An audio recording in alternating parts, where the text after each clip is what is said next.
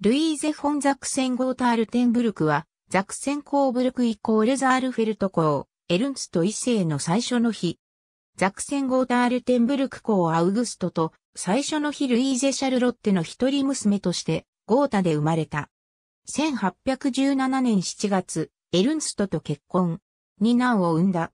後のザクセンコーブルクゴータ公エルンスト2世と、イギリス女王、ビクトリアの王妃となるアルベルトである。叔父のザクセンゴータールテンブルク公フリードリヒ4世が後継者を残さず死去すると、同族のザクセン諸侯の間で領地の再編が行われ、エルンストはザールフェルトと引き換えにゴータを獲得し、初代ザクセンコーブルクゴータ公となった。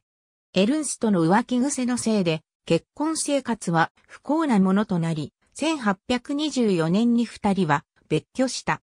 ルイーゼにはリヒテンベルクに新しい住居を与えられたが、二人の息子たちから引き離され、一切の連絡を禁じられた。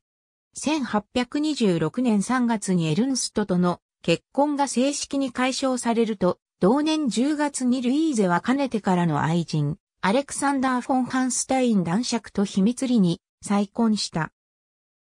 ルイーゼは幸せな結婚生活を送っていたが、1831年2月に再婚が暴露されたことで、子供たちと二度と会えなくなる事態となった。彼女は同年8月パリで30歳の若さで癌のため病死した。ありがとうございます。